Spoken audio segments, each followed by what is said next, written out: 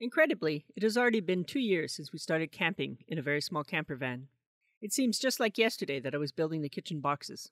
We've been camping in campgrounds, in national parks, and on the road in the summers, and over those two years, I've had a chance to see all the parts of the van build in action, in all different settings. I found that there are some parts of the van I love, and there are other parts just screaming to be changed. Everyone has been so supportive and appreciative in the comment section that I feel kind of bad picking things apart like this, but in the long run, it will make for a better minivan camper build. I thought I would take a look at the kitchen setup first, because there are a few things in there that I feel I need to change. So it is a good time to visit the kitchen and see what works and what doesn't. First of all, here's the kitchen as you would have seen it in my recent van tour video. But this is the kitchen as it was when I made the kitchen boxes video. So a few things are different. This is the first version of the garbage compartment, and this is the version we have now. This is the drawer for jars and spices and stuff, as originally planned. And this is the one I have now. Now the reason for these changes is simply that I messed up when planning the kitchen. I put the blame on trying to build a kitchen for a small, awkwardly shaped space and trying to keep a lot of different things in mind while working. And a few of those things got forgotten. But in the end, the truth is that I made a mistake and the kitchen didn't fit in the van. One factor is the shape of the opening in the back, which narrows towards the top, which I didn't keep in mind when planning the boxes. I based all my careful plans on the measurement at the widest point, but that is not the same as up at the level at the top of the boxes. Another problem was that I didn't really have the option to go back and forth to the van while building, so I didn't catch my error until it was all done and I went out to install it, and the boxes didn't fit. So, what to do? The problem areas were the pantry box, which could not open because of the way the opening narrows. The whole thing was just too wide, so one of the sections will have to go. The only part of the kitchen that could easily be changed was the garbage compartment, so that is the one that had to go and the cooler on the other side can't open either. To solve the pantry box's problem, I moved it to the middle of the shelf. I took the garbage compartment back to the workshop and cut the whole thing off on the table saw.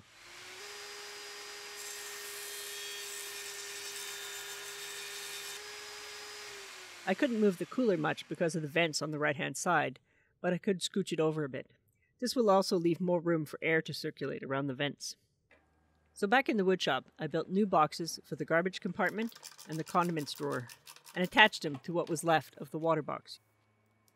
The new garbage section is made to hold a plastic bag and was shaped to use the space available in the curve of the liftgate opening. This is actually the second version of the second garbage box. In the first version, the whole thing was one piece, but I redid it so as to have the garbage compartment separate to make emptying it easier. So all was good now. Sadly, no, because even after all that, there is still the problem that the darn thing is just way too small.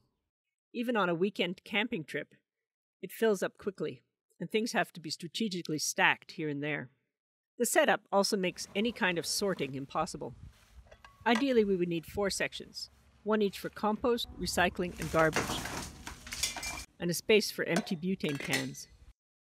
There just isn't anywhere to move the garbage to, so this will need a complete rethink. In the end, though, the narrower drawer I had to make is much better for things like oil and honey and stuff, since they can't tip over in the narrow drawer. The water box is problematic all around. The first issue is that I made these cute little holes to allow me to see the water level, but once it is in the closed box, it is much too dark to see anything inside. To try to fix that, I decided to put a light inside the box. I lined the back of the box with metallic foil tape I added a switch. I cut small pieces of LED light strips to fit where the bottom of the water jug was recessed, and soldered the connections. I encased the whole thing in clear resin to make it completely waterproof.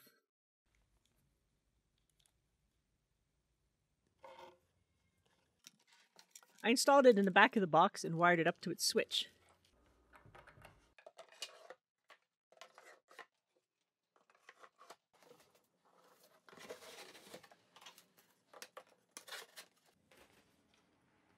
And it was too bright.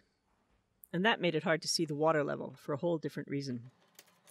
In the end, I stuck foil tape over the main strip of lights, and that brought down the brightness enough to get a better contrast between the empty and the full parts of the water jug. But my problems with the water jug were just starting. Its tap is made with a very low profile to allow it to be turned around and stored inside the opening of the jug, but the result is that it is just crazy hard to grip. It wasn't so bad at first, but it really got on nerves after a while. The tap also needs to be fully closed, or it leaks a bit, which also makes it harder to open. So I tried making a bigger handle for the tap with a wider surface to get a bit of grip on. But there just isn't enough tap handle to attach it to, so it's back to the drawing board for that too. But wait, there's still more problems with the water jug. The way it is designed has the opening at the bottom of the jug. And over time, we started noticing more and more leaks. I kept finding the wooden compartment full of water. That has lifted the acrylic varnish inside, and the leaks have also damaged the finish on the shelf below it, and even under the box, as water tends to run under there. But there's no point blaming a $20 plastic water jug. The problem is a mistake on my part, designing a complicated, labor intensive kitchen build around cheap components. And a mistake I made more than once. I still like the pull out sink though. Though it would have been good if it was under the spout at all times. That would have helped with the leaking, I guess. The cutlery drawer is really small, but magically everything somehow fits in it knives and forks and spoons, but also spatulas and big serving spoons. The pantry box is pretty straightforward. It's just the right size for keeping the foods that don't need to go in the cooler. But I didn't leave any space between the boxes, so the lids rub against each other when you open and close them. Not a big deal, but it could be better. The stove compartment is good. It took a lot of figuring to get the hinged front to line up prettily on the outside. Each box has handholds on the sides. This makes putting everything into the van much easier. On the other hand, I also have a few obsolete holes in the boxes. This one was for hooking up the propane tank. My old stove ran on propane, so I just assumed I would use propane with the new stove. And I even chose this particular model because it could use both fuels. The box was designed so that the stove could stay hooked up even when it was stored. The hoses all fit behind the drawer in the garbage bin, and I could reach in through the garbage compartment to turn the gas on or off. It took me a while to find the right parts for this, since the hose that came with the stove was very short and it had a regulator but no shutoff valve. This torch extension hose has the right fittings and a shutoff valve.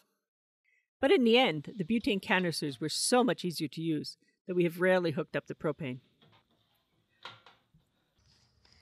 I do keep a propane cylinder and the original hose handy for those very cold mornings when the butane does not want to burn. I bought a windscreen at the same time as the stove, which is very helpful when cooking outside. The little stove itself is great. I don't miss having two burners at all, and I appreciate how much smaller it is. I made one improvement, which was to add a couple of half inch rare earth magnets under the stovetop, which is just enough to keep the top in place when handling the stove. I can either use the stove on the pull out kitchen shelf or bring it to the picnic table if we want. And the cooler, the cooler. I tried my best, and I defended my choices to those who tried to warn me, but now I have to admit that it was a complete fail. I was quickly made aware that thermoelectric coolers have some downsides. They can only cool 20 degrees Celsius below the ambient temperature. That means that if it's 35 degrees out, the inside of the cooler will be 15 degrees at best. That's about 60 degrees Fahrenheit, which is not great for inside a cooler. And the opposite is also true. If it gets down to 10 degrees, the cooler can freeze everything inside. I tried to overcome these problems by adding a thermostat to stop it from getting too cold and extra insulation to help keep it cool. But last year, after I installed the battery monitor, it became glaringly obvious that the cooler drew way too much power for my 100 watt panel 90 amp hour battery setup. To compensate for its lack of cooling power, I've taken to using ice in the cooler, which is kinda ridiculous. I keep the ice in a 20 pound dry bag, so the melt water can't get into the electrical parts. This bag is big enough for a full size bag of ice, either in cubes or a block. The bag keeps all the water in, and it's easy to drain. I'm very proud of this filler piece that hides the edges of the styrofoam insulation, since it had to be cut in one piece just the right size. The marks on it are from the metal foil tape rubbing on the wood. I would be sorry to get rid of the cooler just because of that filler piece. I was very proud of all the improvements I made on the cooler. But it comes back to that same design mistake. I did all that work on a cheap cooler instead of waiting and getting a proper fridge. You can get a good look here at the construction of the boxes. They are all 3 eighths of an inch Baltic birch plywood put together with simple butt joints that are glued, pinned, and clamped and left to dry overnight. The cooler lid uses the cooler's own hinges to open and close the wood casing. And you can see the screws I added to keep the wood lid in place and the way I cut back the edge to allow the lid to fully open. Though ironically, I can't open it all the way because the edge of the van is in the way. The problem is that to get all the kitchen boxes to fit, I had to place the cooler as far over as I could while still being able to close the liftgate. So, do I spend money adding more solar and another battery, or do I change the cooler? A second battery would be another 60 to 70 pounds of weight. And in the end, a cooler that can't cool more than 20 degrees below ambient is just not worth it. The main work surface of this kitchen is the pull out shelf. It's just a sheet of half inch birch plywood that slides between two other pieces. But getting everything I wanted to fit into a minivan meant juggling a lot of different constraints. And in trying to keep the height of the boxes below the back window, I wound up lowering the height of the kitchen shelf. So now the shelf is a bit too low to work on comfortably.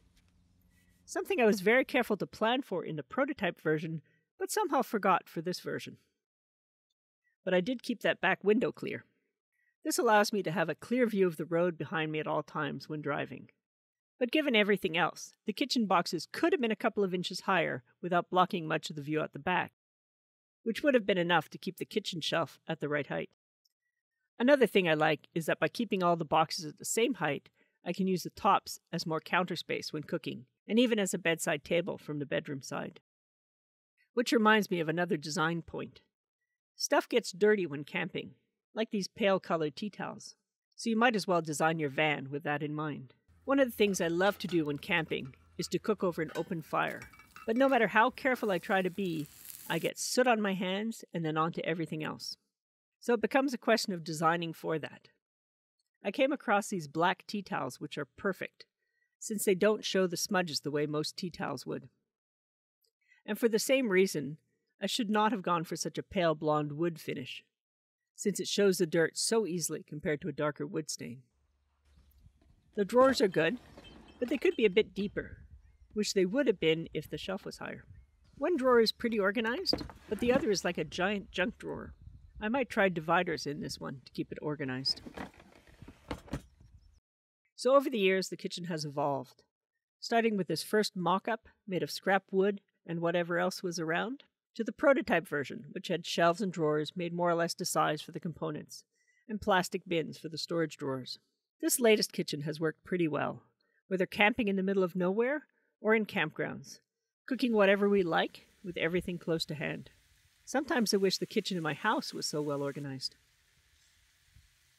But as this walkthrough has shown, there are a few problems that can't just be sawed off and rebuilt. Part of the problem was a cheapskate attitude, which led me to use inexpensive components, like the cooler, like the water jug, combined with wanting to fit as much into a small space as possible.